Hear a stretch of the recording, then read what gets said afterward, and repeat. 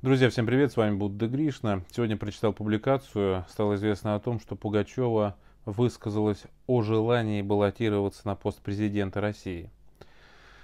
Ну что сказать, друзья, наверное, она уже все-таки не в том возрасте, но вот Галкуша, что называется, очень даже, наверное, кому-то подходит, учитывая, что они общаются с президентом сопредельного государства – и, наверное, я так предполагаю, я не утверждаю ни в коем случае, какие-то такие планы, наверное, были. Но, наверное, дали ей понять, что если продолжит в том же духе, то Галкуша станет президентом угла. Значит, э, я нужна людям, пишут Пугачеву о желании баллотироваться в президенты России. Это чтобы понимать, каковы амбиции этого человека. Амбиции таковы, что бежала даже к Моисееву не пришла на прощание. Вот так нужны люди.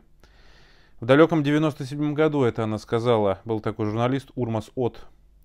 Значит, э, и э, она призналась, что после 48-летия стала другим человеком, задумалась о политической карьере. Более того, она почувствовала, что могла бы возглавить страну, например.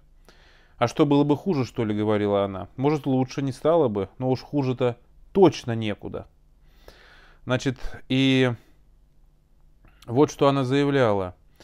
Э, она отмечала, что российское руководство решает проблемы, забывая главные интересы людей.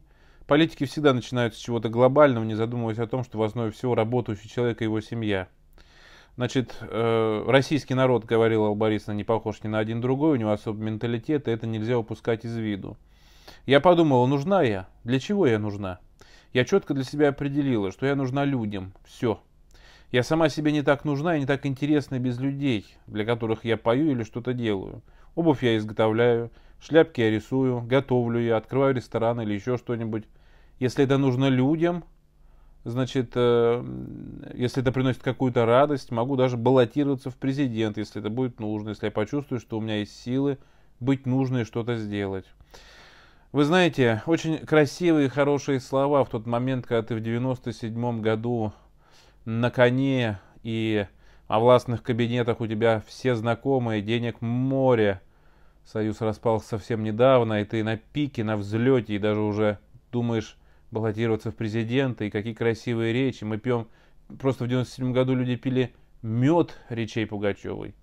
Ну и где же эта забота о людях? Ну и где же эта забота о людях сейчас, когда на дворе 2022 год? Где же Алла Борисовна высказалась за работающего человека, за людей? Или сейчас уже в этом возрасте, в 2022 году, важнее стали дом, замок, миллиард, золотой телец и так далее? Каких только красивых слов они не говорили о людях, о гражданах. Плюнуть хочется, честно скажу. Друзья, интересно ваше мнение, что думаете на сей счет. С вами был Будда Гришин. Подписывайтесь на канал, кому интересно. Ссылочка в закрепленном комментарии в описании к видео для поддержки канала. Кому нравятся мои ролики, можете поддержать канал Будда Гришна. Я напоминаю, что главные новости о Лимане и так далее в моем телеграм-канале Будда Гришна Новости, друзья. Там не только все новости, которые нас с вами интересуют на сегодняшний день, видео, аудио, брифинги, там публикации, мнения, но и мои ролики на остро-социальные, остро-политические темы. Здесь говорить на эти темы уже невозможно. Поэтому подписывайтесь, телеграм-канал Будда Гришна Новости. Друзья, делитесь в соцсетях. И здесь есть запасной канал, он также называется Будда Гришна Новости на YouTube. Подпишитесь, чтобы мы с вами в случае чего не потерялись. Успехов, здоровья, друзья. Всем пока. До встречи.